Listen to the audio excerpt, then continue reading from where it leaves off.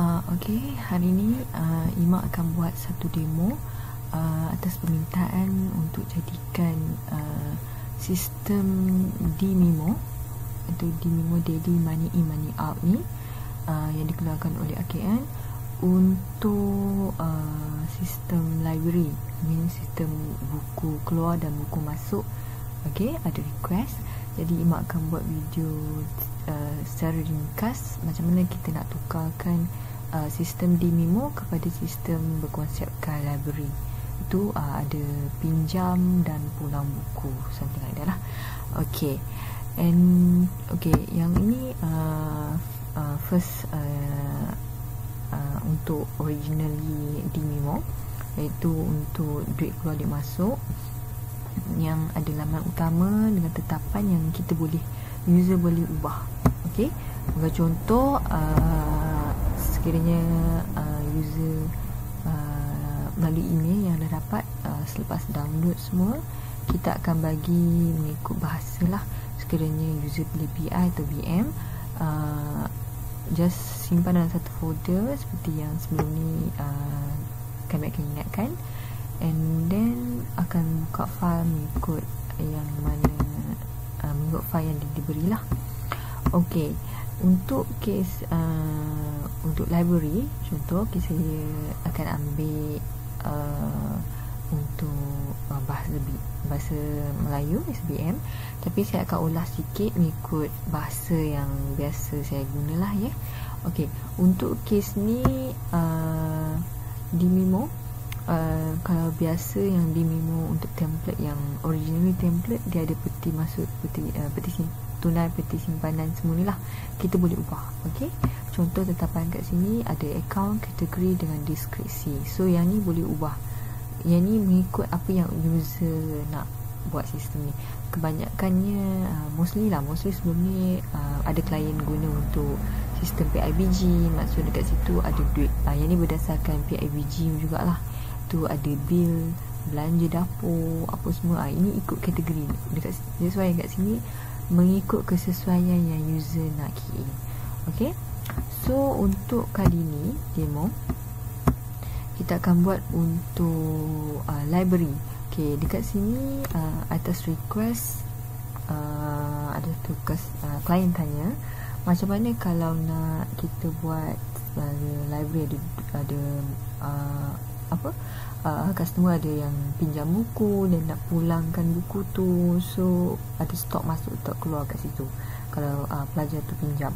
Okey jadi kat sini kita main peranan dekat kategori dengan deskripsi okey okey dekat sini kategori kita boleh set sebagai uh, kita punya uh, apa akan uh, tindakan lah maksudnya kita beli ke sewa pinjam atau return. So sini boleh ubah tak ada masalah. And then begitu juga di deskripsi kita boleh ubah kepada nama-nama buku yang dibeli uh, yang dipinjam. Okey contoh kat sini saya letak lima jenis buku sejarah geografi pendidikan am english book and pelbagai. So uh, ini berdasarkan uh, saya punya contoh lah So ikut user. User nak letak buku. Contoh kalau ada dua jenis sejarah Boleh buat sejarah Malaysia Ataupun sejarah Asia Tenggara ke? Okay tak ada masalah. Itu depends on user lah. Okay uh, Selepas kita ubah dekat account Kategori dia uh, Contoh sebelum ni uh, Ini contoh yang uh, kami bagi itu uh, antara sampel lah yang kami bagi berdasarkan klien sebelum ni. So kalau kita nak ubah pun tak ada masalah. So dia akan jadi uh, ok seperti ni lah. So account kita boleh tambah kat sini stok masuk stok keluar. Sebelum ni kami juga ada keluarkan uh, inventory stock control. Tapi yang tu lebih kepada number. Hmm, satu, dua, tiga uh, hari ni masuk keluar berapa uh, lebih kepada situlah.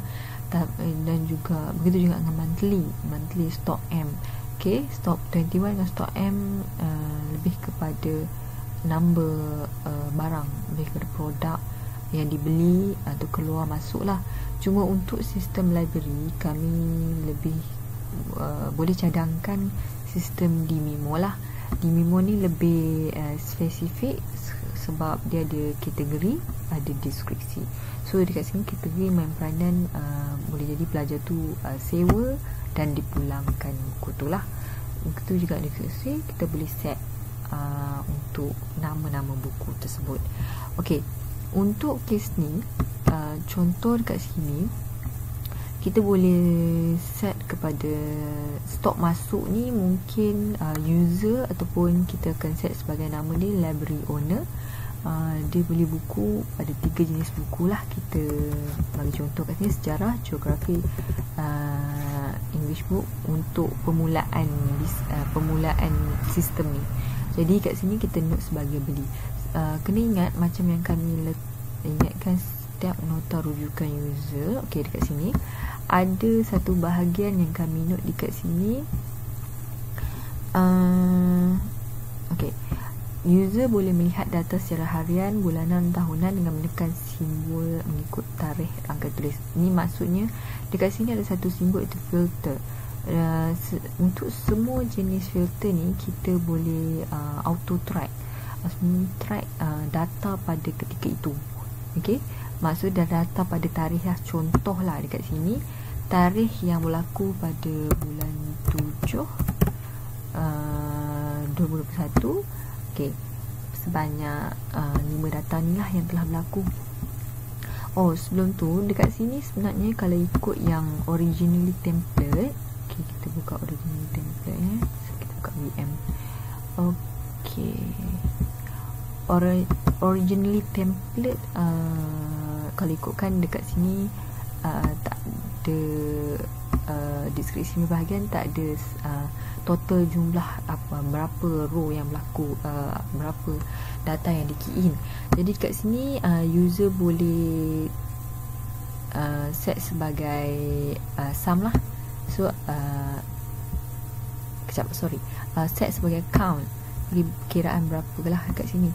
That's why dekat sini uh, Sistem library kita adjustment Kita adjust sikit Untuk jadikan uh, Count dia berapa data. Sebab nanti uh, Misal kata uh, Untuk kita buat kiraan um, uh, Mungkin buat track uh, Data Pada tarikh sekian tu Mengikut data yang di key in Berapa yang berlaku uh, So kalau tak nak pun Boleh tak ada masalah Just set sebagai none saja. So untuk kes ni, untuk kes library saya rasa benda ni sangat perlu. Jadi kita letak sebagai count, okey. Untuk yang uh, sebelum ni punya data ni tak perlu pun tak apa. So none.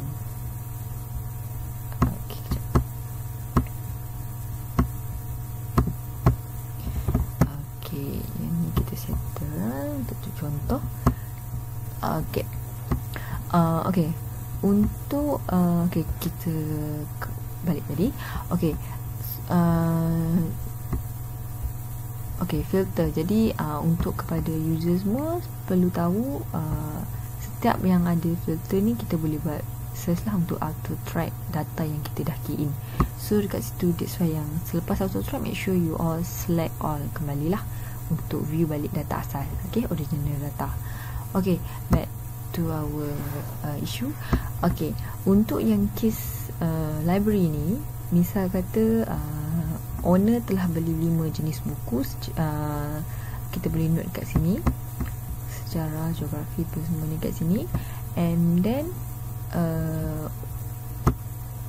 okay, untuk um, Permulaan sistem Mungkin owner dah beli Tiga jenis buku.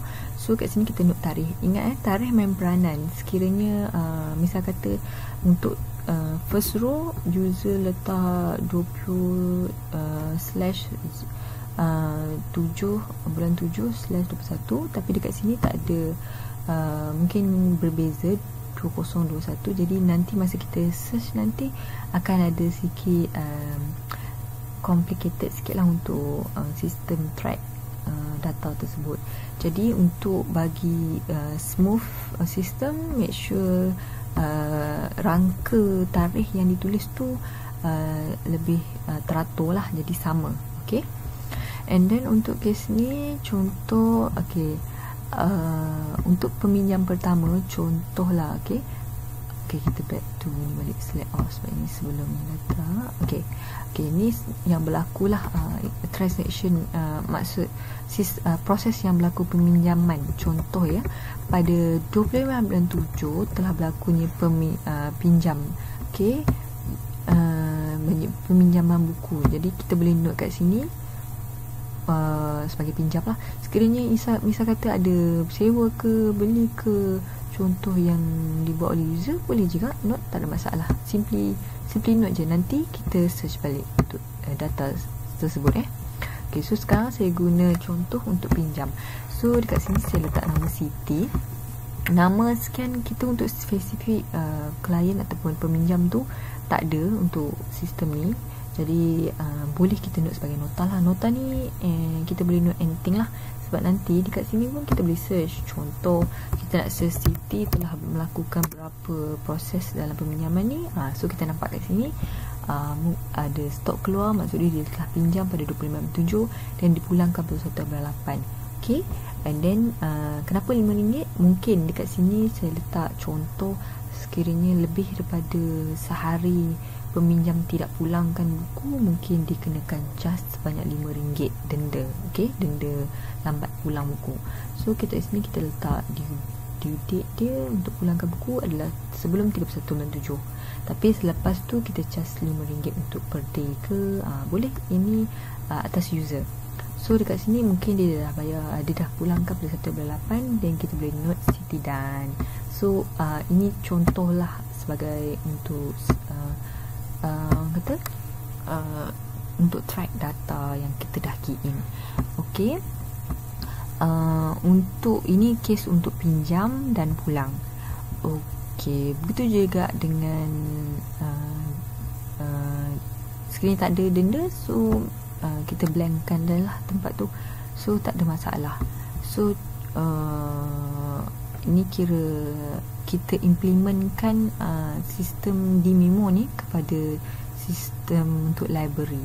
So, misal kata uh, kalau ada user lebih daripada uh, sorry, ada peminjam lebih daripada seorang yang pinjam buku uh, sama Lepas tu uh, mungkin sejarah ni ada dua atau tiga jenis buku sejarah.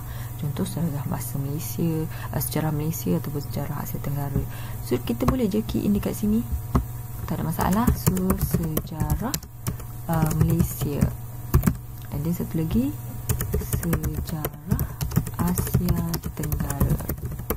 So kena ingat eh Yang ni bukan sistem stok Jadi disebabkan tu tak adalah Quantity unit dekat bahagian ni kolom unit.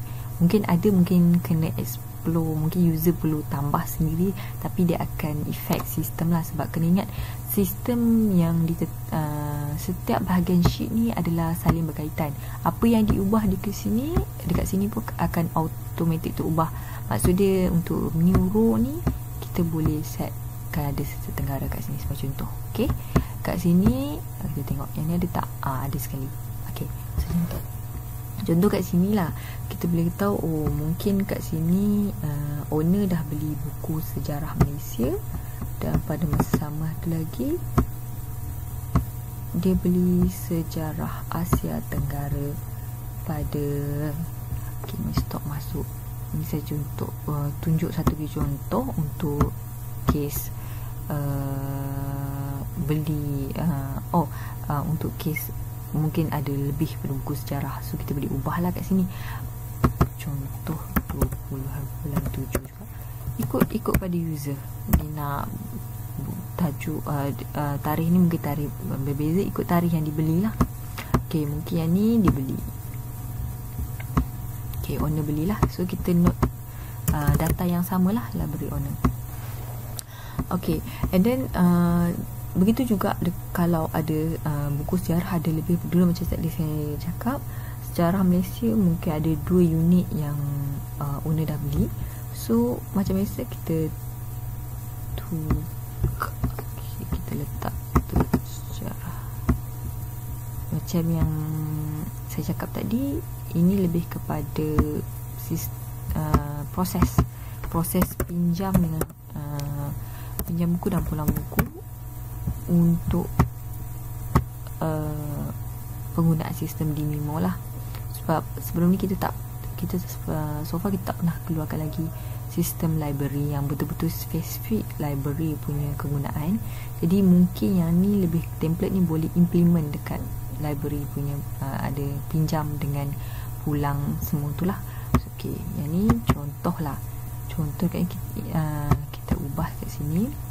Mungkin sejarah ni kita tukar kepada sejarah kejap eh. Ini kita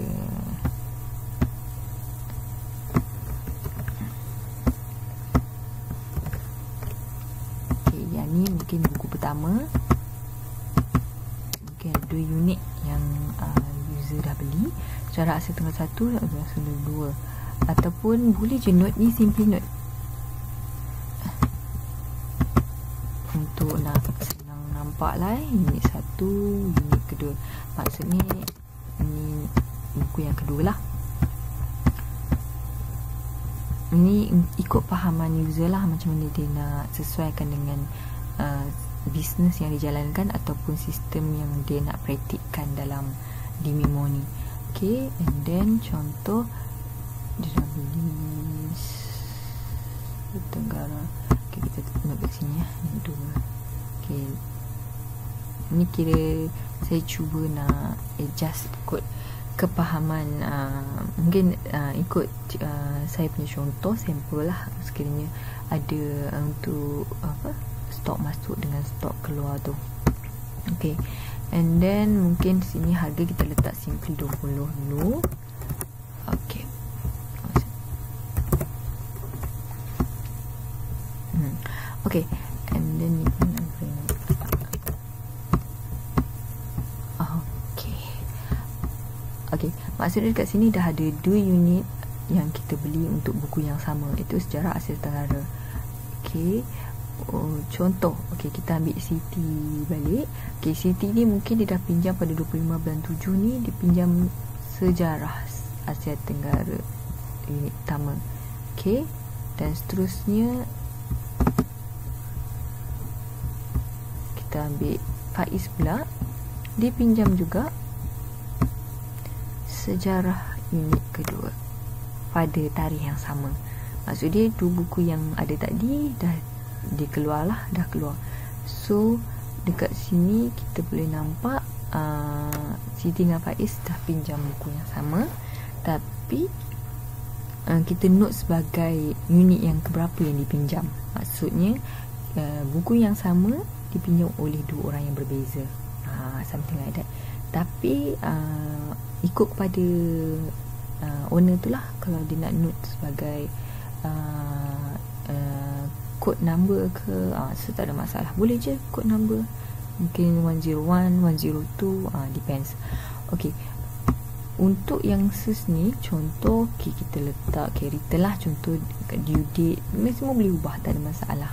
So ikut pada user. Yang penting apa yang kita key in tu kena uh, rangka tu kena sama supaya nanti masa kita nak search auto track sebagai contoh uh, contoh apa yang berapa banyak yang kita dah belilah eh. Contoh owner dah beli dekat sini sepanjang uh, menggunakan sepanjang dia uh, meniaga ke contoh dia dah beli lebih kurang 5 jenis buku.